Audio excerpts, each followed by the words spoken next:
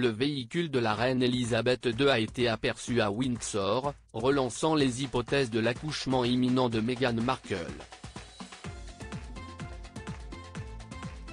Royal Baby en vue pour Meghan Markle Une apparition de la reine Elisabeth II à Windsor a mis la presse britannique en alerte. La monarque a été aperçue sur les routes du domaine du château ou à l'hôpital de Frimley Park, où la duchesse de Sussex doit donner naissance à son premier enfant.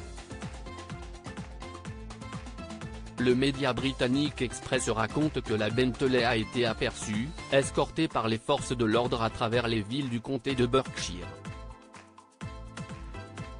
Le Royal Baby se trouvait-il à l'intérieur? Les spéculations vont bon train d'autant que la sécurité semble avoir été sensiblement renforcée.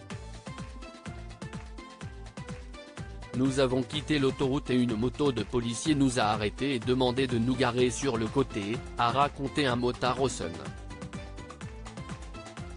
Ensuite, nous avons vu un véhicule dont la vitre arrière était cachée par tout un attirail. Le véhicule allait très doucement sur les dos d'âne. En attendant l'annonce de la naissance du Royal Baby, le prince Harry poursuit ses obligations royales.